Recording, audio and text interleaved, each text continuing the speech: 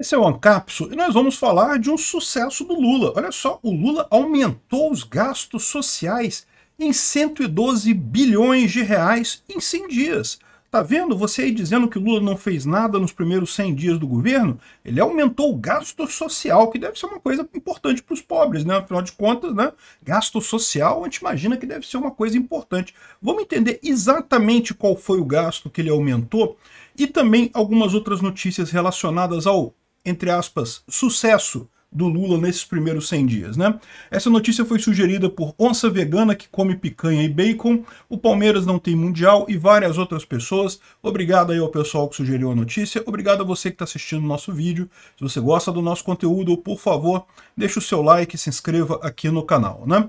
Pois bem, olha só, a notícia é essa, já está sendo espalhada por todos os, os, uh, os, os, propagandistas do governo, aí, toda a mídia tradicional que virou relações públicas do Lula, né? Está propagandeando essa coisa, não porque o Lula aumentou em mais de 100 bilhões os gastos sociais, tá vendo?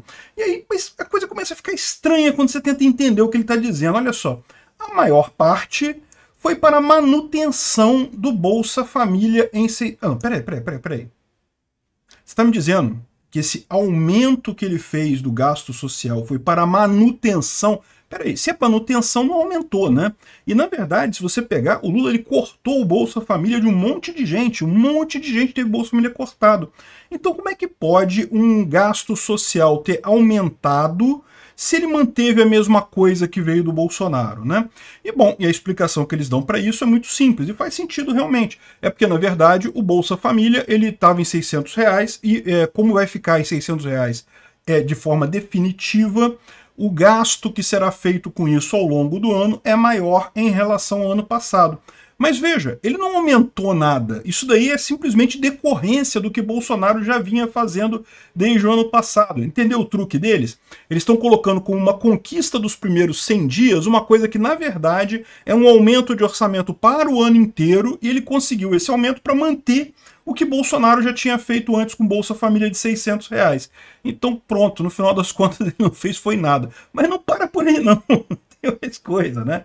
Porque eu fiquei pensando, pô, caramba, como é que pode, né? Realmente, a maior parte aqui é a manutenção do Bolsa Família, 52 bilhões. Como eu falei para vocês, não precisava de 170 bilhões. E onde é que foram os outros gastos sociais dele? Olha só, reajuste linear de 9% do funcionalismo. Peraí, peraí, peraí, que negócio é esse? Eles estão dizendo que é gasto social o reajuste do funcionalismo público? Que porca. Não, o funcionário público não é pobre, não, cara. Pobre não tem emprego público. Quem tem emprego público não é pobre. Que negócio é esse de reajuste linear do funcionalismo público e aumento de 43% no vale alimentação? Isso é, isso consome, é a maior despesa além daquilo que tem aqui do Bolsa Família.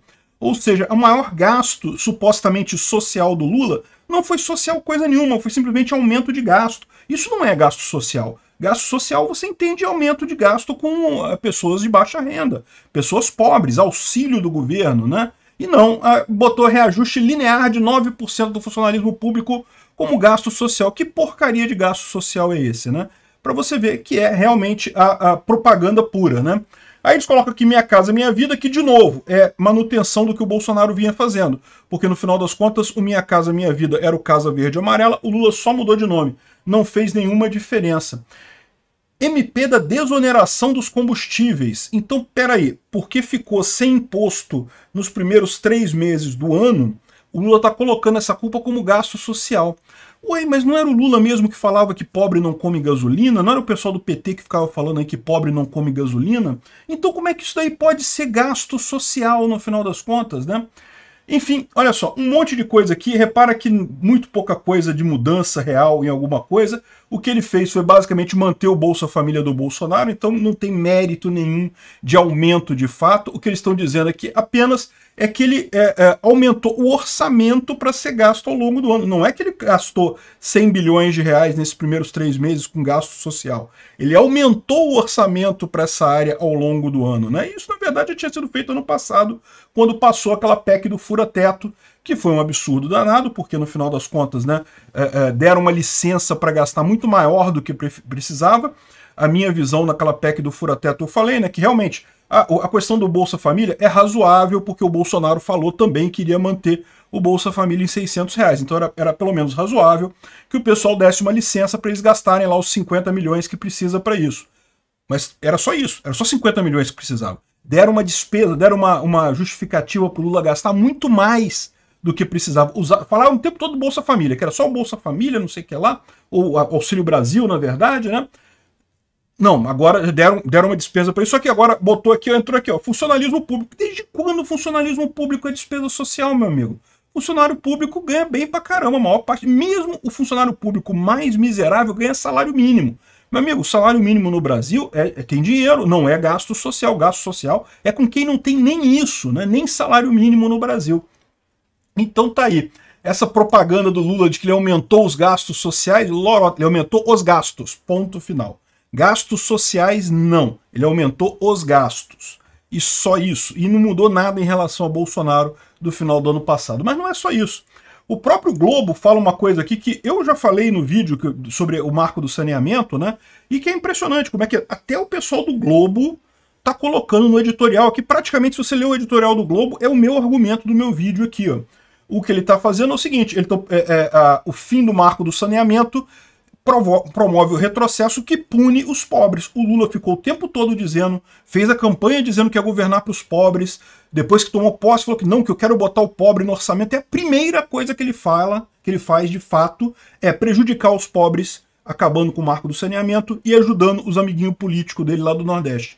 Porque vai botar aquele monte de sindicalista encostado nas empresas de saneamento do Nordeste, aquele pessoal ganhando sem fazer porcaria nenhuma, sem nenhuma meta, sem nenhum objetivo, vai deixar o pobre sem esgoto, sem água, sem nada, a troco de quê? A troco de ajudar os amiguinhos dele. É isso que eu, que eu falo. A hipocrisia da esquerda. A esquerda diz que governa para os pobres, diz que governa para a população mais humilde do Brasil. Não, eles governam para eles mesmos. Eles governam para ajudar os coleguinhas. É só isso que existe ali. O que o Lula fez foi é, é, ajudar sindicalista, o pessoal que está nessas empresas aí e que teme ser, é, perder o emprego, né, não, não quer trabalhar de verdade. Imagina ter que trabalhar na iniciativa privada. Se o cara é bom no trabalho dele, ele não tem medo de nada, ele vai trabalhar na iniciativa privada sem problema algum.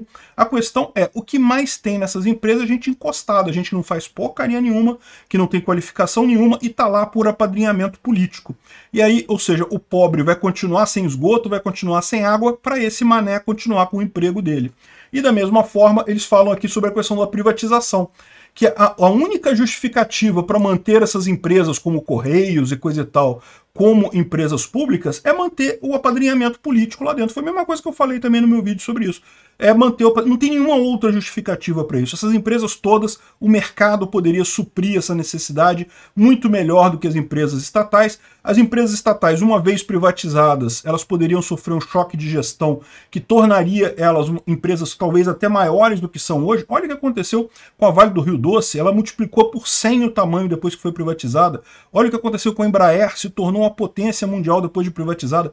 Essas empresas, como o, o a, a DataPrev e o Serpro, têm capacidade de atender uma, uma demanda enorme nessa área de serviços de tecnologia, de informática e coisa e tal, como empresas privadas. Ficando como empresa estatal, tudo que ela atende é o pessoal que está lá dentro, é a peixada que está lá dentro mesmo, que, de novo, não estou dizendo que todo mundo na DataPrev e todo mundo no Serpro, da mesma forma que nem todo mundo no Correio, não estou dizendo que todo mundo é encostado. Tem muita gente que trabalha nessas empresas. Aliás, chega a ser injusto com essas pessoas, porque, no final das contas, a, a digamos, a visão que a gente tem dessas, dessas pessoas acaba sendo até jogada para trás por conta da, da grande quantidade de pelego que tem lá dentro, de gente que finge que trabalha, mas não trabalha coisa nenhuma, né?